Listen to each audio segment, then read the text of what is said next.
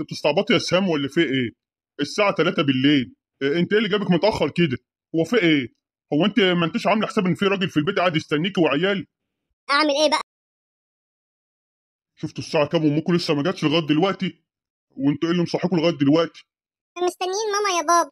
لا لا لا لا خد أخوك وادخلوا ناموا. يلا عشان عندكم مدرسة بكرة. حاضر يا بابا. والله ما أنا عارف إيه التأخير اللي بقى زياده يعني عن اللزوم ده ومبالغ فيه يعني. هو مش وراها بيت يعني وأسرة وتيجي تاخد بالها منهم؟ أهلا إزيك يا سعيد؟ أنت شايفة في إيدك الساعة كام؟ أيوه شايف. الساعة 11 ونص. أعمل إيه يعني؟ مش كان عندي شغل وبخلصه؟ ولازمته إيه المرمطة والشغل اللي أنت طالعة نازلة فيه ده وسايبة عيالك بالمنظر ده؟ العيال ما عادوش بيشوفوكي أصلا في البيت. لازمته؟ لازمته أنا بحسن ظروف المعيشة اللي إحنا عايشينها. لازمته اللي أنا بشوف العيال محتاجين إيه وأجيبه لهم. أنت فاكر إن ال 5000 جنيه اللي أنت بتديهم لي بيكفوا الشهر والحاجات اللي إحنا عايزينها وطالبينها؟ لا طبعا ما بيكفيش حاجة. وأنا ما طلبتش منك تنزلي تشتغلي يعني وتجيبي فلوس ولا أي حاجة. خليكي قاعدة معززة مكرمة في البيت يا ست وسيبي أم الشغل اللي انت ما مفرحانة لي بيه ده وطالعة نازلة فيه. آه هو أما أجي أقول لك بقى هات فلوس أجيب أكل ولا حاجات تقول أنا سايب لك المصروف. هو ده يا دوب المرتب اللي أنا باخده أعمل لك إيه؟ وأفضل بقى قاعدة أستنى وأستلف من ماما ولا من أخويا عشان يديني فلوس وأجيب بقى حاجة العيال. والله ممكن تدبقي نفسك يعني وتمشي نفسك بالمصروف اللي بديهولك مش لازم يعني الفشخرة والكلام الفارغ اللي بتقعدي تشتريه ده. آه فشخرة. آه وانت عشان بس شايف إن هو ماهوش مهم فبتقول عليه فشخرة. بقول لك إيه آه، أنا جاية تعبانة من تحت يا سعيد. سيبني أدخل بقى أرتاح شوية. لما فكرت حتى تسألي عيالك كلهم ولا شربهم ولا نامهم ولا أي حاجة يا شيخ. ده أنت بقيتي حاجة صعبة. آه أنا جعان قوي وأنا كمان جعانة قوي ومفيش حاجة في البيت تتاكل. في إيه؟ في إيه يا أولاد إحنا جعانين قوي يا بابا. ومفيش حاجة في التلاجة ناكلها الله أمال أمكم فين ماما لسه ما جاتش من الشغل يا بابا. يعني أنتوا لسه ما أكلتوش لغاية دلوقتي؟ أيوه يا بابا ما كلناش حاجة من الصبح خالص. طب تعالوا تعالوا ننزل ناكل تحت وبعد كده نبقى نيجي تاني. إيه ده؟ أنت لسه صاحي يا سعيد؟ إيه اللي مصحيك لغاية دلوقتي؟ لو النبي أنت شايفه الساعة في إيدك كام؟ آه عارفة إن الوقت متأخر. ما عشان كده مستغربة أنت صاحي يعني ليه لغاية دلوقتي؟ أنت بتستعبطي يا سهام ولا في إيه؟ الساعة 3 بالليل. إيه انت إيه اللي جابك متأخر كده؟ هو في إيه؟ هو انت ما انتش عامله حساب ان في راجل في البيت قاعد يستنيكي وعيال؟ اعمل إيه بقى؟ آه بكرة عندنا جرد وكان لازم اخلص كل الورق اللي قدامي في الشركة عشان الجرد بتاع بكرة. جرد إيه وزفت إيه اللي بتتكلمي فيه؟ ما يتحرق الشركة على الجرد اللي بتتكلمي فيه ده.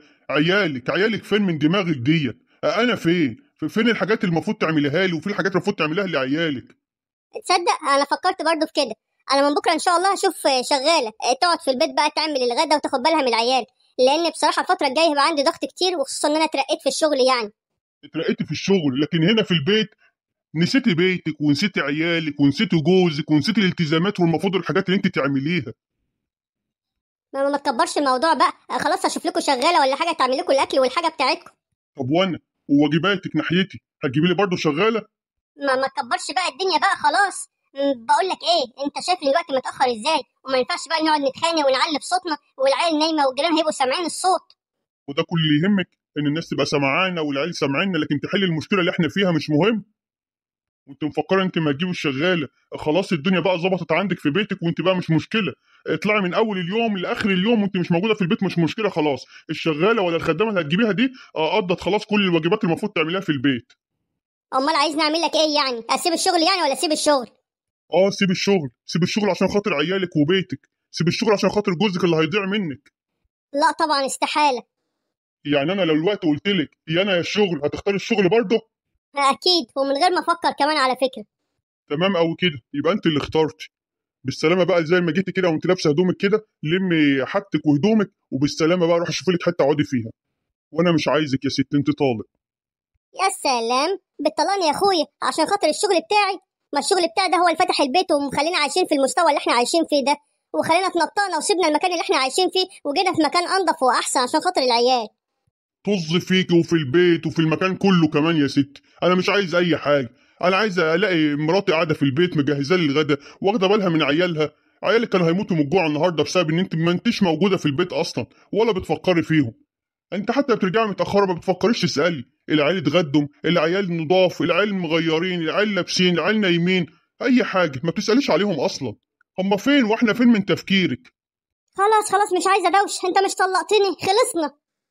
والله ما عندك ريحة الدم. أقسم بالله ما عندك ريحة الدم يا شيخ. أنا مش فاهم إزاي أنا عايش معاك السنين دي كلها. من يوم ما اشتغلت وأنت طلعت فيها قوي فكرت نفسك بقيتي خلاص وزيرة. أهلا أهلا حبايب قلبي. تيتا تعالوا تعالوا. حبايبي أنا عملت لكم كل الأكل اللي أنتوا بتحبوه. وحطيته لكم جوه على السفرة وعملت لكم المهلبية والجيل اللي أنتوا كمان عاوزينه.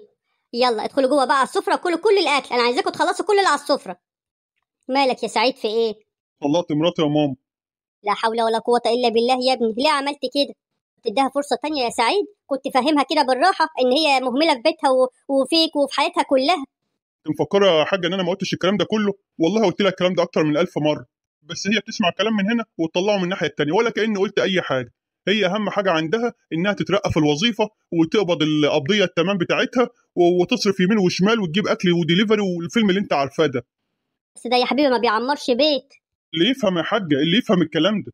وأنا بصراحة خلاص جبت أخري خلاص طلقتها. ما قالتلكش إنها عايزة تاخد العيال؟ عيال إيه يا حاجة هي بقول لك بتيجي البيت إلا الساعة 12 و11 وأول امبارح كانت جاية لي الساعة 3 بالليل. عيال إيه بس يا حاجة؟ هو ده اللي خلاني طلقتها إن هي أصلا مش مهتمة بالعيال ومش في دماغها العيال. والله وهي ماشية حتى ما سألتني العيال فين أبوسهم أحضنهم أي حاجة كانت تأثر فيا حتى وتخليني أفكر في اللي أنا عملته معاها ده. لكن للأسف ولا هي هنا. لا إله إلا الله والله ما عارفة أقول لك إيه. بس عامة كل يجيبه ربنا خير يا ابني. أنا عندي حاجة كده عايزه أقولها لك. خير خير يا حاج.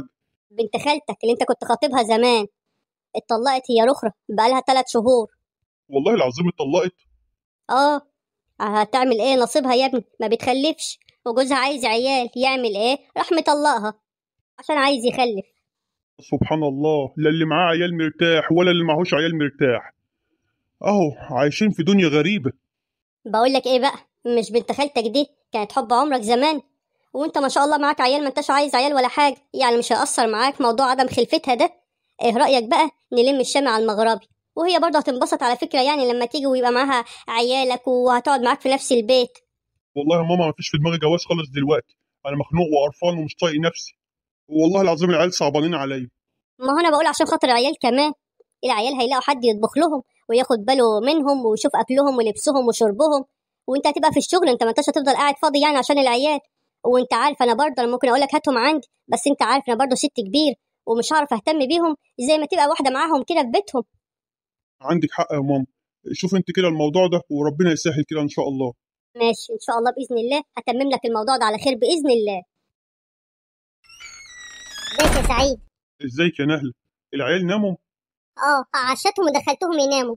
والحمد لله ذاكروا كل حاجة وشاطرين ما شاء الله ربنا يبارك فيهم. طيب الحمد لله. أخيرا أخيرا أحس كده بجو أسري كده ومراتي قاعدة تستناني. هو أنا ليا بركة إلا أنت يا حبيبي؟ انت اللي حبيبتي ربنا يخليكي ليا يا رب ويقدرني كده إن أنا أسعدك يا رب. يلا بقى حبيبي عشان نتعشى إحنا كمان. يلا حبيبتي أصل أنا هموت من الجوع. إيه ده؟ هو انت إيه اللي دخلك كده؟ ودخلت إزاي من باب الشقة؟ هو انت لسه معاك المفتاح؟ أنا حبيبتي أبقى صاحبة البيت البيت اللي انت ما صدقتي وجيتي حطيتي رجلك فيه ده.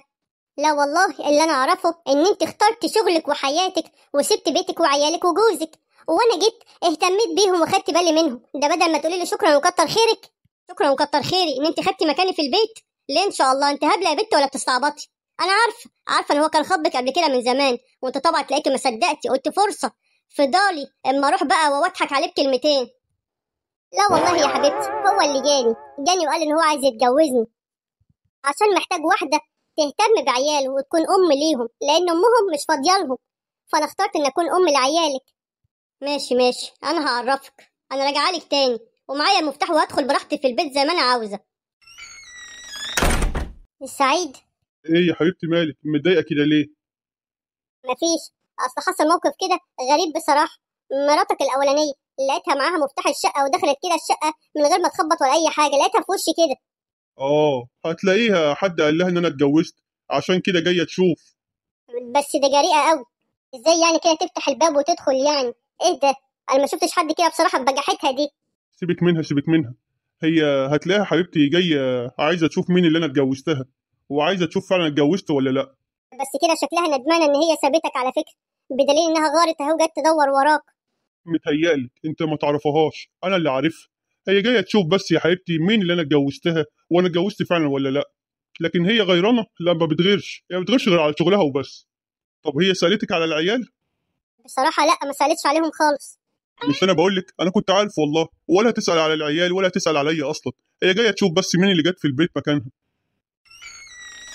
إزاي تفتحي وتدخلي البيت كده من غير ما تخبطي؟ انت مفكرة ان هو بيتك ولا إيه؟ أيوه أيوه كان بيتي. إيه المشكلة يعني ما افتح وادخل؟ ولا خايف من الست هانم حبيبتك الأولانية. لما هي كانت حبيبتي الأولانية والوقت بقت مراتي كمان فخلي بالك وانت بتتكلمي عنها. بالسرعة دي؟ رحت اتجوزت كده على طول؟ واستنى ليه؟ هو أنا مفكرة إن أنا حزين عليكي؟ والله ما حزين ولا حاجة. بالعكس أنت ما كنتش مقصرة في حياتنا في حاجة ولا كنت لازمانه حتى في البيت. الحمد لله لقيت ام ولقيت زوجة وبتاخد بالها من العيال وتذاكر معاهم وتأكلهم وتغير لهم وتلبسهم ومهتميه بيهم على الآخر.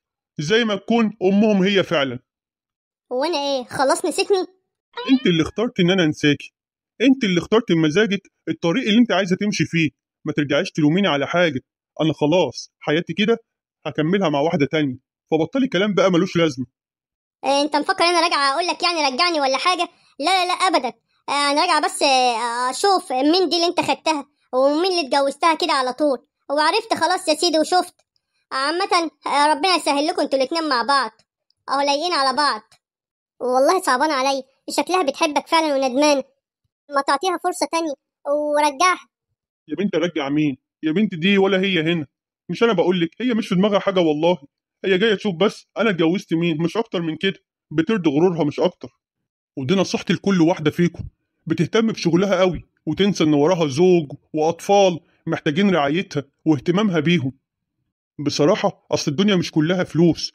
الدنيا برضه محتاجة شوية اهتمام وشوية حنية وشوية طيبة وشوية جدعان. وبالإضافة للفلوس أنا مش هقول إن الفلوس مهاش مهم لا الفلوس مهمة وكل حاجة بس أقدر أدبق نفسي وأمشي نفسي بمبلغ معين وأمشي بيه بيتي. لكن اخرب بيتي عشان خاطر فلوس ده اللي استحالة. ويا ريت تكون الرسالة وصلت النهارده. لكل واحدة مهملة في بيتها وبتقول ما أنا بجيب فلوس قد كده وبشتغل عشان أجيب فلوس في البيت. بيتك أهم وعيالك أهم.